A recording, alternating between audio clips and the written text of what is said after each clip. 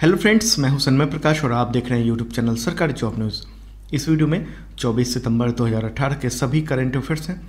दोस्तों, ये आजकल थोड़ा लेट से वीडियो जा रहा है और कोशिश होगी कि ये जल्दी वीडियो चला जाए आपसे क्वेश्चन होगा, मालदीव का नया राष्ट्रपति किसे चुना गया है? ये बहुत इंपॉर्टेंट क्वेश्चन है, क्योंकि जो पिछले राष्ट्रपति थे, जो अभी तक बने हुए हैं, वो चाइना के साथ उनका साठगांठ है।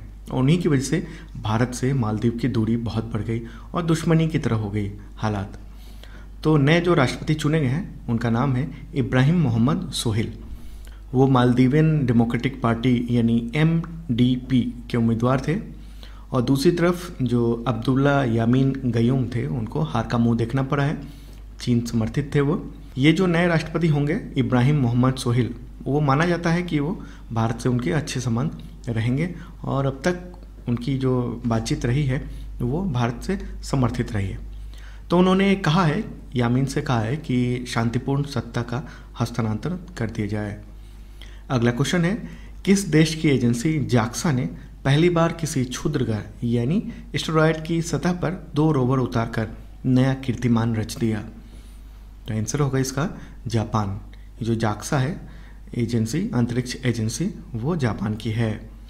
तो क्या हुआ है? तो रोवर वन ए और रोवर वन बी को मिलाकर एक रोवर है मिला जुला मिनारवा टू वन ठीक है? ये आपको याद रखना है। उसने बीते शुक्रवार को अंतरिक्ष यान से अलग होकर रायुगु की सतह पर उतरा। तो ये एस्टेरॉयड का नाम है रायुगु, ठीक है? और ये मिनरवा टू वन जो है, वो किसी क्षुद्रग्रह की सतह पर उतरने वाला दुनिया का पहला रोवर है। तो ये भी क्वेश्चन हो सकता है। एस्टेरॉयड की सतह पर तस्वीरें उतारने का भी रिकॉर्ड इसी के नाम हो गया है। इससे पहले कभी भी एस्टेरॉयड की सतह की तस्वीरें नहीं ली जा सकी थी। दोस्तों, अगर ये वीडियो आपको अच्छा लग रहा है तो प्लीज़ लाइक करें। लाइक करने से मेरा उत्साह बढ़ता है। अगला क्वेश्चन है, दोहा में एशियाई टीम स्कूनर चैंपियनशिप में भारत ने कौन सा पदक जीता? तो आंसर होगा, सिल्वर। देखिए फाइनल में भारत को पाकिस्तान से हार मिली थी। और दोहा जो है वो कतर की राजधानी है और फीफा वर्ल्ड कप का जो अगला मैच होना है, जो अगला कप होना है, वो वहीं पर खेला जाएगा। अगला क्वेश्चन है, महाबीच 2018 का तीसरा संस्करण कहाँ आयोजित होगा? देखिए, इंडिया में नहीं होगा। आंसर है दुबई। देखिए, महाराष्ट्र और मध्य पूर्व देशों के बीच जो व्यापारिक संबंध है, उसको और ज़्यादा बेहतर करने के लिए ये आयोजन होगा। और दुबई में आईसीसी का मुख्यालय भी है। ठीक है? अगला क्वेश्चन है smart e public distribution system यानी ई e को लागू करने वाला उत्तर पूर्व का पहला राज्य कौन बन गया है? आंसर है अरुणाचल प्रदेश। अरुणाचल प्रदेश ने smart e public distribution system यानी ई e को लागू किया है। अगला क्वेश्चन है, किस राज्य की कैबिनेट ने हाल ही में राज्य शिक्षा नीति 2018 के अंतिम मसौदे को मंजूरी दी है? तो आंसर है मेघालय। देखिए, इस नीति में फोकल पॉइंट के रूप में शिक्षार्थी हैं और इसमें दृष्टि, समग्र लक्ष्य, प्रारंभिक बचपन की देखभाल, शिक्षा, प्राथमिक, माध्यमिक, उच्च माध्यमिक और शिक्षक, शिक्षा के विकास के लिए कई सारे लक्ष्य बनाए गए हैं। उनको शामिल किया गया है। अगला क्वेश्चन है, नपोरा महोत्सव कहाँ मनाया जाता है? देखिए, जो भी महोत्सव होते हैं, वो बहुत इंपॉर्टेंट होते हैं एग्ज़ाम के नज़रिए से। क्योंकि वो आते ही हैं एग्ज़ाम्स में। अभी देखिए ग्रुप डी एग्ज़ाम्स में बहुत सारे महोत्सवों के बारे में पूछा गया है। तो ये नरोपा महोत्सव है, वो लद्दाख में आयोजित होता है और तिब्बती कैलेंडर के हर बारहवें साल में ये त्यौहार मनाया जाता है। अभी हाल ही में मनाया गया है। इस महोत्सव को हिमालय के कुंभ मेला के तौर पर भी जाना जाता है। पाँच दिनों का होता है ये नरोपा त्यौहार और इस दौरान इस बार, यानी 22 सितंबर को, तसरिंग लाडोल को हिमालय हीरो पुरस्कार से सम्मानित किया गया। क्यों? क्योंकि उन्होंने 2005 में माउंट एवरेस्ट पर चढ़ाई की थी और वो लद्दाख की पहली ऐसी लड़की थी। तो 22 सितंबर को नरोपा महोत्सव के दौरान एक और एक काम हुआ है, जो आपको ध्यान में रखने की ज़रूरत है, कि वहाँ के समापन को चिन्हित करने के लिए वहाँ पर परंपरागत लद्दाही शाकी पोशाक में दो सौ निन्यानवे महिलाओं ने गिनेज वर्ल्ड रिकॉर्ड के साथ एक डांस किया, नृत्य किया। और इस नृत्य को सबसे बड़ा लद्दाखी नृत्य के रूप में घोषित किया गया है। अगला क्वेश्चन है, विश्व एंटी डंपिंग एजेंसी ने हाल ही में किस देश की एंटी डोपिंग एजेंसी से अपना प्रतिबंध हटा लिया है? तो इसका आंसर होगा रूस। ये जो एजेंसी है, यानी विश्व एंटी डोपिंग एजेंसी इसको वाडा भी बोलते हैं।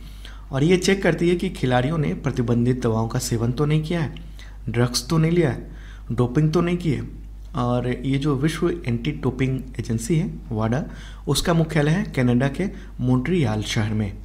ठीक है? अगला क्वेश्चन है, चीन पाकिस्तान आर्थिक कॉरिडोर, यानी सी से जुड़ने वाला तीसरा देश कौन बन गया है? तो आंसर है सऊदी अरब। और सऊदी अरब की राजधानी है रियाद। देखिए जो सीपीईपी है, उसका भारत विरोध कर रहा है, क्योंकि जो पाकिस्तान ऑक्युपाइड कश्मीर है उस इलाके से ये चीन का कॉरिडोर जा रहा है। तो अब तीसरा देश भी जुड़ गया है इससे प्रोजेक्ट से सऊदी अरब। तो उसकी वजह से इंडिया के लिए थोड़ी चिंता की बात तो है ही, क्योंकि इंडिया लगातार इस प्रोजेक्ट का विरोध कर रहा है और एक बड़ा देश जो उसके साथ शामिल हो गया। अब अगला क्वेश्चन है, इसरो ने गगनयान मिशन के लिए किस जगह पर तीसरे लॉन्च पैड की स्थापना की है? तो इसका आंसर होगा श्री हरिकोटा। ठीक है? देखिए 21 सितंबर को, यानी हाल ही में, भारतीय अंतरिक्ष अनुसंधान संगठन, यानी इसरो ने गगनयान मानव अंतरिक्ष कार्यक्रम शुरू करने के लिए श्री हरिकोटा, आंध्र प्रदेश में, ये तीसरा लॉन्च पैड स्थापित करने का काम शुरू कर दिया है। अब जल्दी हो जाएगा स्थापित। और आप तो जानते हैं कि गगनयान मिशन के तहत 2022 तक हमारे जो अंतरिक्ष यात्री हैं, भारतीय, उनको भेजने का प्लान है इसरो के द्वारा। अगला क्वेश्चन है रेप के बढ़ते मामलों को देखते हुए किस देश ने वयस्क सामग्री वाले वेबसाइट यानी एडल्ट वेबसाइट को प्रतिबंधित किया है? तो आंसर होगा नेपाल। और वहाँ की केंद्रीय सरकार ने ये सोचा कि शायद एडल्ट वेबसाइट की वजह से ये सब हो रहा है तो उन्होंने प्रतिबंधित कर दिया है एडल्ट वेबसाइट्स को। अगला क्वेश्चन है, ओलंपिक पदक विजेता सुशील कुमार और योगेश्वर दत्त को कोचिंग देने वाले कोच का हाल ही में निधन हो गया है। तो उनका नाम बताएँ। इंपॉर्टेंट क्वेश्चन हो जाता है ये। आंसर है यशवीर सिंह उन्हें द्रोणाचार्य सम्मान भी मिल चुका है। इनको जो शिष्य थे, सुशील और युगेश्वर, ये दोनों पहलवान हैं और हरियाणा के हैं। अगला क्वेश्चन है, ओडिशा ललित कला अकादमी का अध्यक्ष किसे नियुक्त किया गया है? तो इसका आंसर होगा, सुदर्शन पटनायक। इनको सब जानते हैं, आप भी जानते ही होंगे। वो मृदा कलाकार हैं मतलब मिट्टी और रेत से आकृति बनाते हैं और दुनिया भर में प्रसिद्ध हैं। जो भी इम्पोर्टेंट ओकेजन होता है, उस पर उनका एक आकृति रेत से बना हुआ, या मिट्टी से बना हुआ हमें न्यूज़पेपर में देखने को मिलता है। अगला क्वेश्चन है आरबीआई ने हाल ही में किसे अपना गैर बैंकिंग वित्त कंपनी यानी एनबीएफसी संचालित करने की मंजूरी दी है? देखिए, लगातार वो मंजूरी दे रहा है, लेकिन लेटेस्ट में मिली है मंजूरी पे यू को। ठीक है पे यू अगला क्वेश्चन है, केंद्र सरकार के दबाव में और सुप्रीम कोर्ट के आदेश के बाद किस मैसेजिंग सर्विस कंपनी ने भारत के लिए शिकायत निवारण अधिकारी की नियुक्ति की है? इसका आंसर होगा व्हाट्सएप व्हाट्सएप ने इस पद पर अपने ग्लोबल कस्टमर ऑपरेशन की वरिष्ठ निदेशक कोमल लाहड़ी को नियुक्त किया है। अगला क्वेश्चन है, विश्व राइनो दिवस कब मनाया जाता है? तो इसका आंसर होगा 22 सितंबर। देखिए, इंडिया में असम का ये राजकीय पशु भी है, राइनो। राइनो को कहते हैं हम लोग गेंडा, ठीक है? एक सिंग वाला गेंडा यहाँ होता है राइनो होता है, और असम ने भी इसी दिन को राइनो डे के रूप में मनाने का फैसला लिया है।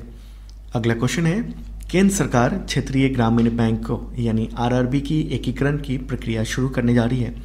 तो आरआरबी की मौजूदा संख्या छप्पन से घटाकर कितना करने की तैयारी है? तो इसका आंसर होगा छत्तीस। देखिए एक तैयारी हो रही है कि किसी एक राज्य के भीतर स्थित आरआरबी को आपस में विलय कर दिया जाए। मतलब एक राज्य में एक ही आरआरबी हो। रीजनल रूरल बैंक ठीक है? तो क्षेत्रीय ग्रामीण बैंकों का जो गठन हुआ था, वो आरआरबी अधिनियम 1976 के तहत हुआ था। ये भी आपको याद रखना है। इसके गठन के पीछे मकसद ये था कि छोटे किसानों, कृषि श्रमिकों और ग्रामीण क्षेत्रों में काम करने वाले कारीगरों को कर्ज और दूसरी सुविधाएँ उपलब्ध हों। यहाँ एक और इम्पोर्टेंट बात है कि सरकार ने इसी महीने यानी सितंबर में ही bank of Baroda, Vijaya bank और देना बैंक के विलय की प्रक्रिया शुरू की है, जो अगले कुछ महीने में पूरी हो जाएगी। अगला क्वेश्चन है, किस राज्य में हाल ही में वहाँ की महिला को खतरनाक जीका वायरस के संक्रमण का पहला मामला सामने आया है? तो आंसर होगा राजस्थान। देखिए, मेरे इस क्वेश्चन का मतलब ये नहीं कि भारत में पहला मामला है मतलब कि उस राज्य में पहला मामला है तो वह है राजस्थान। और ये पुणे की लेबोरेटरी में, जो गवर्नमेंट की लेबोरेटरी है, वहाँ जाँच में महिला को जीका वायरस की पुष्टि हुई है। और यहाँ बता दूँ कि भारत में जीका वायरस का पहला मामला मई 2017 में गुजरात में सामने आया था। तो ये भी आपको ध्यान रखना है। तो अब करंट अफेयर्स का अगला वीडियो कल मॉर्निंग को आएगा। अपने दोस्तों को ये करंट अफेयर्स ज़रूर शेयर करें व्हाट्सएप पर फेसबुक पर। और इसका डिटेल नोट्स और पीडीएफ आप वीडियो के डिस्क्रिप्शन से डाउनलोड कर सकते हैं। वीडियो देखने के लिए बहुत बहुत धन्यवाद।